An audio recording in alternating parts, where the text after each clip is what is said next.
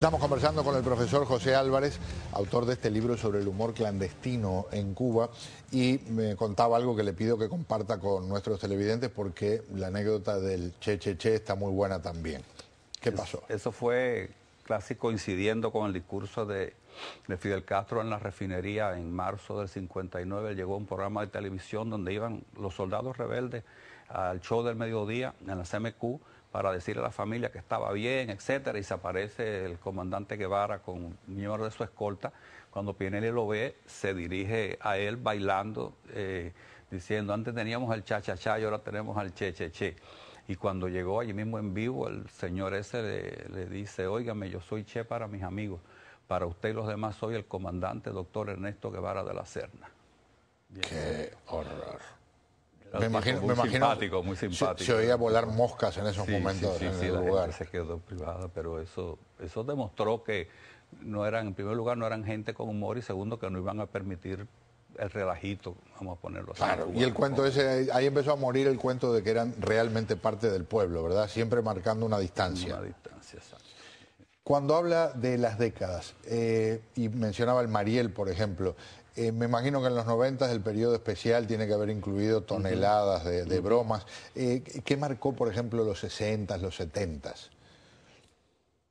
Mira, los, esa es una buena pregunta, porque eh, no se hace a propósito, pero sale, luce, es decir, aparece, es, obvio. El 60 fue el choque porque, porque el periodo especial fue muy duro, pero se fue de menos a menos, a mucho menos, pero en los 60 fue de la abundancia, que podemos discutir la cuestión social, que si estaba repartido, que si no, pero había abundancia y de repente vino y se acabó prácticamente todo. Eh, vino el razonamiento, la libertad de abastecimiento, etc. Eso y la emigración fueron las, las, dos características principales de los 60 y los 70. Eh, los 80 el Mariel lo, marca tremendamente porque resulta que es el principio de la década y entonces los chistes lo mismo eran de aquí como que eran de allá. Eh, fue cuando vino y se intercambiaron chistes donde se reían de los que llegaban y se reían de los que se quedaban y se reían de todo el mundo. Y eso es una cosa que es de admirar, ¿no? El pueblo cubano se ríe de sí mismo y se ríe del que tiene al lado y se ríe de su situación y no tiene ningún complejo en, hacerlo. Y ha sido una terapia muy buena también, porque... Y, sí, yo creo que yo, tengo una amiga que dice que si la situación no fuera así era para cortarse las venas. Claro, es, no, se puede, no se puede concebir eh, vivir en un sistema si uno no tiene por lo menos, y no es una cosa de Cuba exclusiva, es decir, el señor Luis hace un recuento de todos los países detrás de la cortina de hierro, e incluso ahora en la internet han aparecido chistes de Corea del Norte, que es el país más cerrado que hay, y, y y es un, es un argumento en contra de ellos, que si los cubanos copiamos los chistes de los bolos, como le decían a los rusos, eh, los coreanos están haciendo el cuento de Adán y Eva, igual que los cubanos, de los gaticos fidelistas, y es, decir, a quién se lo copiaron y quién copió a quién. Es decir, que esa situación política crea la, la, creatividad, perdonando la redundancia, de, hacer chistes sobre la misma situación, porque el sistema es una copia carbón en todos los lugares. y ahora que mencionaba algunos animalitos, el ingenio cubano precisamente habla de cómo la revolución ayudó a salvar a una cotorra.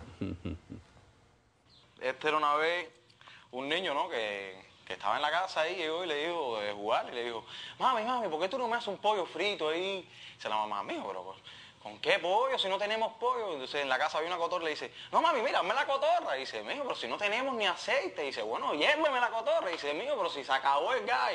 Dice la cotorra, que viva mi bandera, viva nuestra nación, viva la revolución. la cotorra sobreviviente gracias a la escasez de otras cosas, ¿no?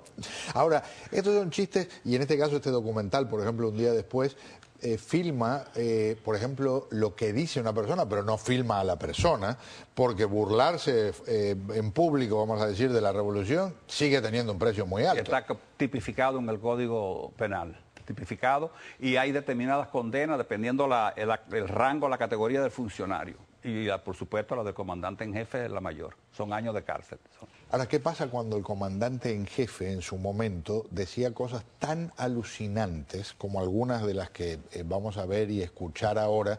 Porque en la práctica esto no era un chiste sobre la revolución pero cuando lo escuche verá que sin querer era tal vez el mejor chiste sobre la revolución.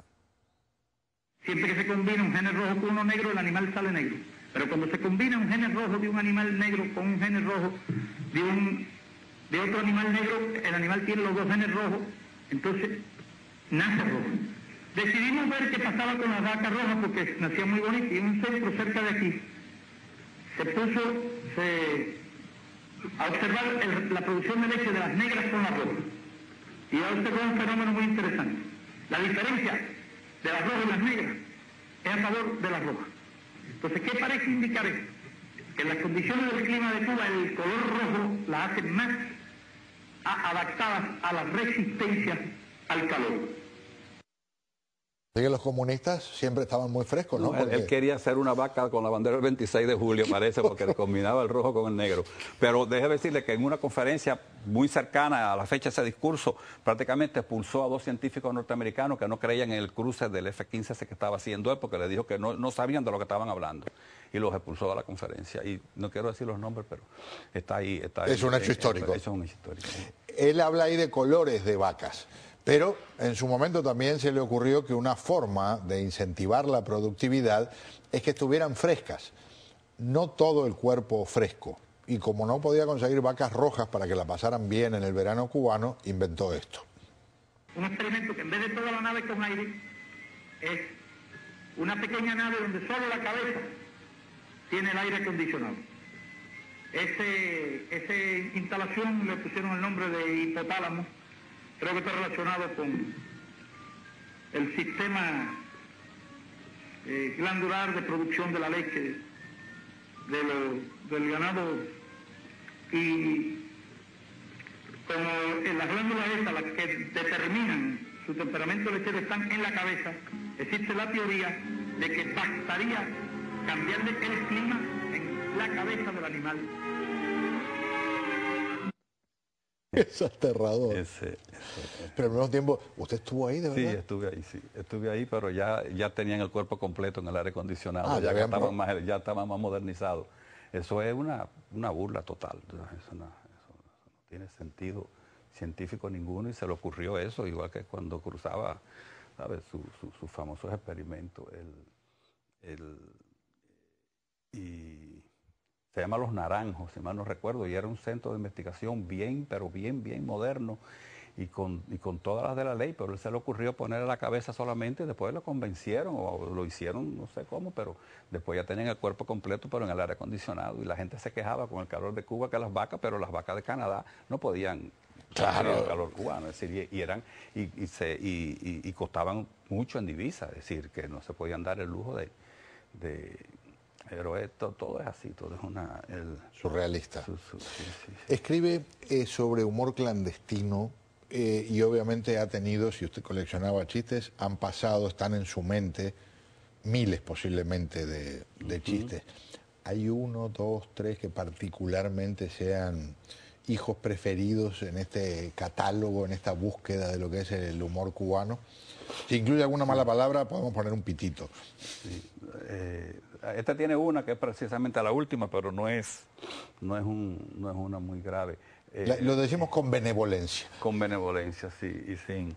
Eh, y, y, me gusta porque este chiste se lo hicieron a la esposa de un amigo mío académico, que ella es mexicana, y fueron a una reunión y se lo hicieron en el Palacio de las Convenciones dirigentes femeninas de la Federación de Mujeres Cubanas como una protesta al machismo que todavía persiste en Cuba. Es decir, esa cosa, los dirigentes cubanos son machistas, racistas y homofóbicos, las tres cosas, y eso no se lo pueden ¿sabe? quitar de encima. Entonces, como una defensa, inventaron el, chiste de que eh, a los X años de haberse muerto Ernesto Guevara, yo ve como yo no le digo che porque no era amigo de él, Qué suerte. haberse muerto ese señor, eh, el, el partido quiso ver cómo había progresado la creación del hombre nuevo y cogieron a dos jóvenes y una joven y los tiraron en helicóptero por los callitos al norte de Camagüey. Al, mes regresaron, los llevan al Palacio de Gobierno, del Consejo de Estado, y había una mesa allí con eh, sociólogos, comisarios, psicólogos, antropólogos, eh, los políticos, el comandante, es decir, una serie de los médicos, y, entonces mandan a, dice que pase a la compañerita primero. Y dice, a ver, pregúnteme. Dice, no, no, no, hable usted, compañera, hable usted. Dice, bueno, ustedes nos, nos dejaron allí como, vamos a decir, el día primero. La primera semana nos las pasamos buscando eh, eh, elementos para guarecernos de las inclemencias del tiempo y poder eh, estar allí porque estaba lloviendo y etcétera. Y, y, la, y éramos la, personificación del hombre nuevo socialista, todos para uno y unos para todos. Y la segunda semana nos dedicamos a buscar alimentos, cazábamos como Robinson Crusoe en los, en los riachuelos y, cogíamos jutía en las, en las matas, porque sabe que en Camagüey hay jutía, y nos ayudábamos todos, compartíamos todo, cocinábamos bien. A la tercera semana eh, Juan me fajó. Juan me echó los perros, la verdad que yo me gustaba Juan y me puse a vivir con Juan. Y, pero entonces como que Pedro estaba un poco celoso y, como yo era la única mujer, pues me puse a vivir con Pedro también a la cuarta semana. Entonces, al final de la cuarta semana vimos que estábamos abandonando nuestros deberes políticos, eh, celebramos la primera reunión del partido y me votaron por puta.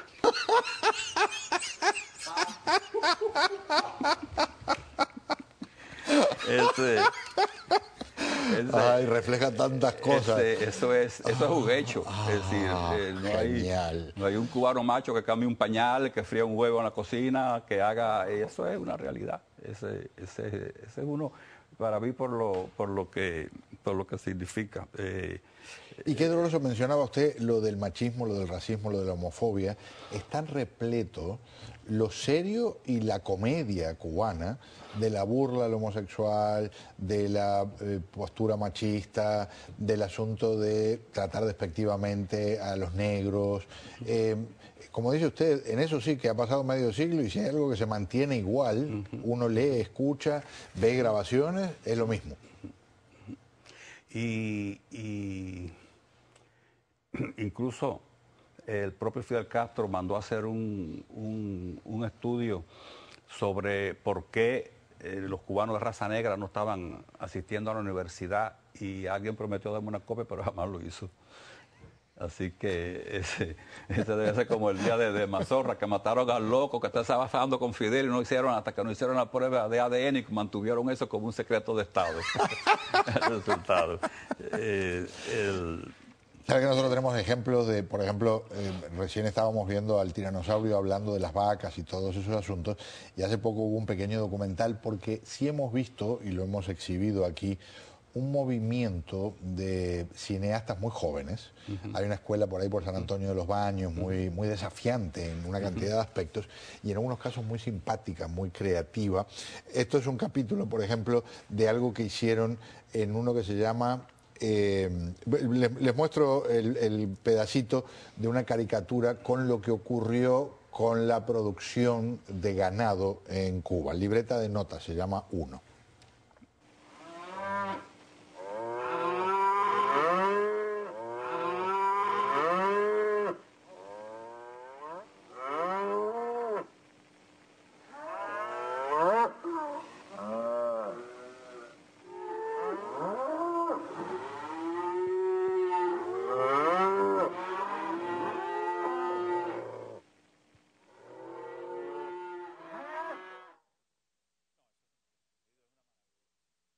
Habrán hablado mucho de ganado, pero el resultado es que un agujero negro se tragó.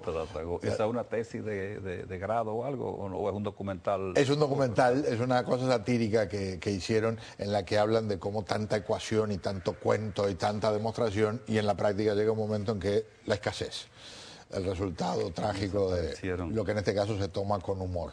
¿Dónde se encuentra el libro?